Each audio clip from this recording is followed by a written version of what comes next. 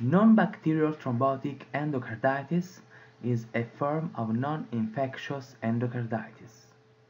Vegetations are classically located on the mitral or aortic valve, specifically along valvular coaptation lines.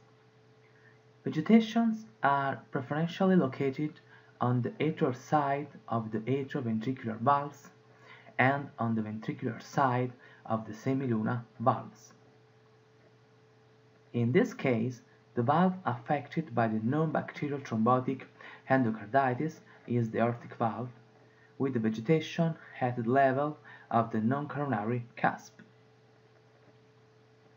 This condition mainly affects patients with advanced cancer or systemic lupus erythematosus, and the typical clinical presentation is systemic embolization.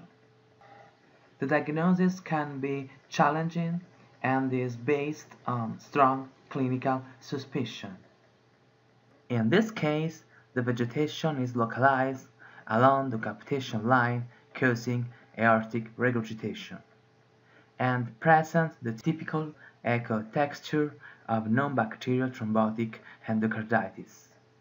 Indeed, vegetations are usually friable, broad-based, and irregular shaped. Finally, they are not associated with valvular destruction.